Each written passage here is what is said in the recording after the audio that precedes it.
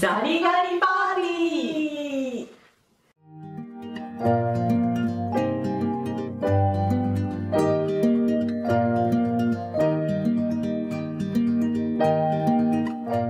何が起こったか。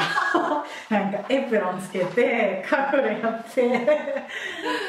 これはザリガニパーティーのお話ですまあこうスウェーデンとフィンランドではね8月中はもうザリガニパーティーしまくりそうなんです。でまあ夏の終わりを告げる食材。そうなんです悲しい。終わる夏がだけど本当7月はやっぱり暑いんですけど8月に入ってくると本当にねスウェーデン大体寒くなって。もう今8月の中旬ぐらいですけど20度以下だよね、もう。秋。えだって朝だとか10度とか11度、うんもう終わりました夏。うん。まあ、だけどザリガニって日本ではもうあれですよね。これですよね皆さんイカスルメイカでスルメイカで川で釣る。遊びのねものでしかないけど、こちらの人たちはまあそれを真剣に食べるっていうことなので、まあ、今日はこんな風にザリガニを実際買ってみたのでこれを 後で実際に食べてみて食レポやってみたいと思います。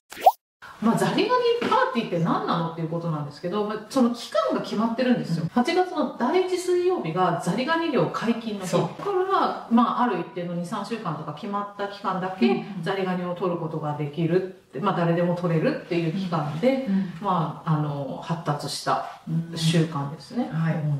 まあだけどなんで食べる期間が決まってるの？もうなんかね、1800年代にザリガニが大人気になったんだって。で、もう錯乱っていうか、こう不足の恐れが出てしまったので、ザリガニ漁を制限する法律っていうのができて、で、そこから8月の第1水曜日の17時、ザリガニ漁解禁。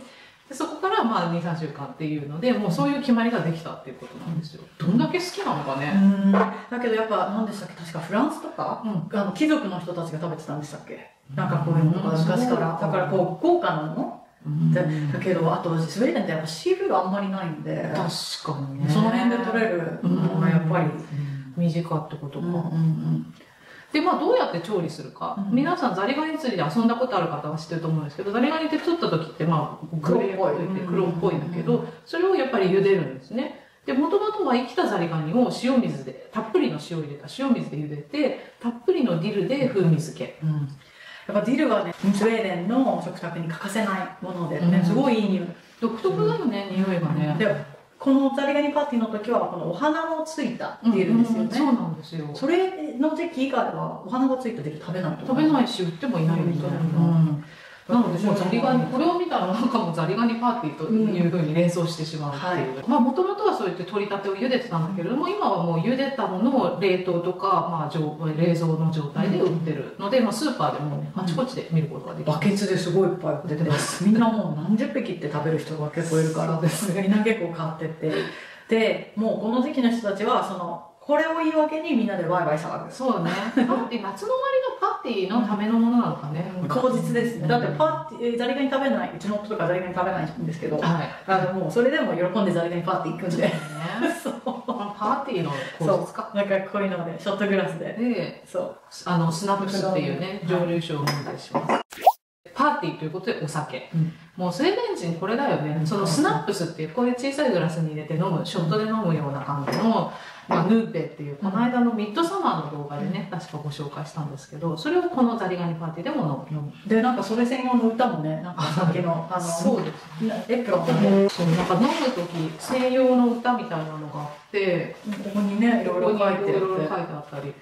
ね。これでだからここをエプロンとして中開けるんでこれを歌のあれに横に使えるっていうですね。こういうエプロンも売ってます。そうで、まあ、このザリガニパーティーの時にものすごい飲むんですよ。で、ザリガニってほとんど身がないから、食べてるようで食べてない。だから空腹にすごいこうお酒を飲んで危ない酔っ払ったり危険なので、1922年には飲みすぎ禁止キャンペーンっていうのが 行われたりしたみたいで、ほんとほどほどにね、しないといけないですね。そうこれ食べるのに時間かかるからカニと一緒でやっぱりこうねほとんど中身ないよね。で、まあ、ザリガニだけを食べるパーティーなのかっていう。一応ね、この、まあ、今日ここにも用意したんだけど、ベステルボッテンチーズっていう、まあ、すごく匂いの強いチーズがあるんですけど、そういうので作ったパイを食べるのが伝統的。うん。あとはね、あの、バゲットとか、あと普通に夏に食べるサラダとか、あとそのスモークサーモンとかも結構食べたりするんですけどもけどこのパイは絶対欠かせない。そうですよね。でこの時期になるとこんな大きいのが普通にいろんなところに持ってたりとかして、あと簡単にもね作れるんで、うん。体には良くないですけどめちゃめちゃ美味しいです グッズが多いんですよ、このザリガニ。やっぱり見た目がかわかわいいっていうか、まあ、あの、面白いからなのか、華やか。なんかコミカルなんだよね。こういうザリガニくんたちで。とか、まあ、紙皿とかもこういうなんか面白いのあったり、こっちはディル持ってます。で、でなんかこの帽子とこのなんかエプロンをつけてみんなでやるっていうのがなんか伝統なんですね。うん。なんかみんなでちょっとふざける感じそう大の大人がみんなこんな格好して普通のみんなつけて歌歌ったりとかして。そうそうそう。月の男っていう謎の飾りがあってこれコンパクトなんだけど開くと全部めっちゃインパクトありますよやっぱり。でこれをねつら吊るすんですよね。そう。でこのパーティー外でやることが多いんででこうやって風に揺らされるとかってね結構。なんかランタンみたいな。だけどなんで月の顔月の男？スウェーデンって月にウサギがいるじゃなくて月に男がいるって言われてるの知ってた？だからなかっただからかそうだからなんだって。私もなんか今の夫と付き合いだして初めての時にちょっとロマンチックに月とか見ながら「うさぎが」とか言ったら「え男でしょ? 」えみたいな。全然ロマンチックじゃない。怖いよね。ね。あのねしてるうさぎちゃんがいるのね。しかもこの顔がなんかちょっとインパクトないですね。その不思議スウェーデンうん不思議。でじゃあ食べますか？こういう専用のナイフとかっていうのもあるんだよね、そう。けどこれいっちゃいますよ私。食べ方は。まずこの体とまあロブスター食べるの一緒かな多分、うんエビとかね、もう頭取ってグッと。ごめんなさいと。でこの味噌を塩水って結構しょっぱいんですよね塩ですごい揺れてるから。でね。それをで音立てて吸っていいねって言って。でこれを多分こういうナイフでこうやって頭の味噌をかき出して食べても OK と。結構入ってる。すげえ。うん。もうエビ食べてる感じですねこれ完全に、うん形がエビとそっくりだもんね、ほらピッと取れた。結構大きい身が入ってるこのザリガニ、匂いプンプンです。うん。美味しい。好きなの？うん。まこちゃんも好きなの？でも全然大丈夫。大好きです。マジで？ちょっとよく結さ、構やだ。私この匂いが独特だよね。本当にディルの匂いすごいうんんです。しょっぱいディルの匂い、私もよく食べる。こう、バリッと言ってください。頭。とね、私私はね実はこれ結構なんかザリガニ微妙であのもうず16年とか住んでるけどザリガニパーティーは多分今まで23回ぐらいしかね参加したことない。いやなんかしょっぱいんだよね。すごいしょっぱい。だからお酒と合うんですよね。何何これでどうやって出してこれ私、あの手で普通に。手で普通に。これをこう、半分に折ると、で、ああ結構ヒュッと取れますよ、これ。ああ本当だ。うんすごいすごい。で、お尻尾のところもギュッとこう引っ張れば。痛いうまく。そう。結構足痛いんですよね。あうまい。上手。あ食べてみよう。いきます。また匂っちゃう。すっごい。これ匂い嗅がないすっごい塩塩水って感じ、塩水臭い。うーんしょっぱい。なんかこう海水浴を思い出すか海水浴で塩水飲んじゃった時の感じ。けどこしょ？う結構エビよりあんまりプリプリしてないかな？もうちょっとシャキシャキしてる感じ。感はあるけどねほんとしょっぱエビは私結構好きなんだけどこれはしょっぱいね、い、うん、美味しい。味噌がこのまま食べれる？食べれます。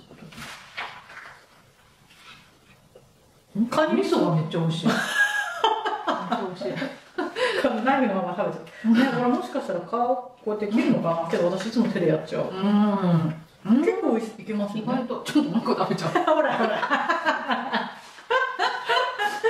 結構ハマる。結構さこのしょっぱいからなんか後味っていうか次々食べたくなっちゃうのかなそう結構やみつきになりますやみつきになるうるさいスウェーデンなパーティーの場でやっぱうるさいスウェーデンにしても、結構こう、もくもく食べますね。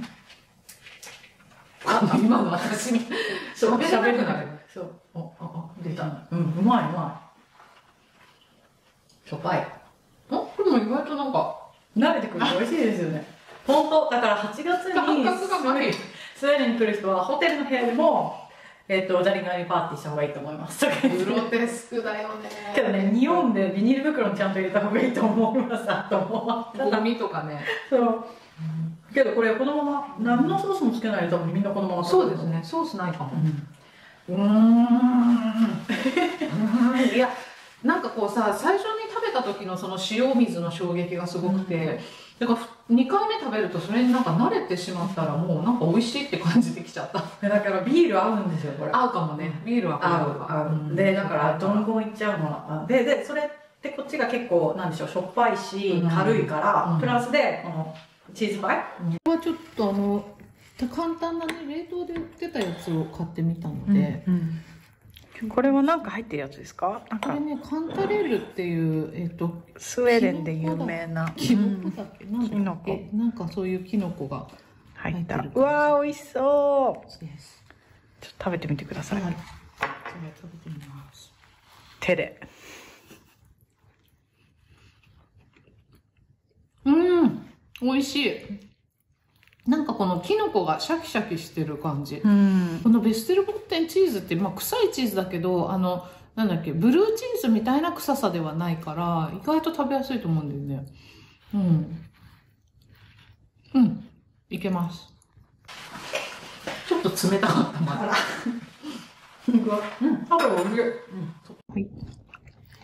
どう？美味しいです、うん。あ普通に美味しいチーズパイって感じ、チーズパイでこの私キノコが入ってるの実はた初めて食べて結構みんなふ何も入ってないやつ食べたりうん。結構するんですけど。うん、美味しかったです。で多分サーモンとかなんだろうホレイサンとか入ってるやつも多分あるし。うん。いい感じ。でも意外と本当にザリガニがなんかこれ大きいかな？なんかうん。もっと取りにくいイメージがあったんだけど、これすごい綺麗に取れましたね。ね。見た目が怖いよねうん、うん、気持ち悪いですよね。だけどうん。美味しいんで。多分日本人だったら美味しいか？塩水 まあ確かにしょっぱい、うん。まあ、だけど結構、まあ、ちっちゃいロブスターだと思って食べる、でもまあね季節風物詩というかね、あんまり風物ものがないスウェーデンで、確かに、うん。なのでぜひこういったグッズも一緒になんか皆さんスウェーデンでねもしお土産に買って帰ってみても面白いかもしれませんね、どれがに持って帰れるんですかね。それはあーちょっとやばそうだよね。あのもし万が一にあの袋が破れてしまったりとか。さあそう。あ、まあ、日本でも買えるのかな？冷凍のやつとか。うん。もしかしたら売ってるかもしれないですね。売ってるかもしれない。IKEA とかも売ってるのかな、売ってるかもしれない。けど売ってるかもわかんないです。っていうか捕まえたらいいですえ けどなんかジャリジャリしそう。これなんか食用だから。ちょっと違うよねきっとね食べられるの。というわけで今日は、えー今の季節物のザリガニを食べてみました。えー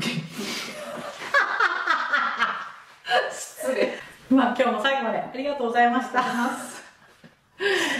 毎週北欧の情報をえー発信してますので、えー、とぜひチャンネル登録していただけるとえー嬉しいです。また皆さんのコメントもうん「どうザリガニ食べてみたいですか?」とか言って。はい、はい。お待ちしてます、はい。ではまた次週の動画でお会いしましょう。笑顔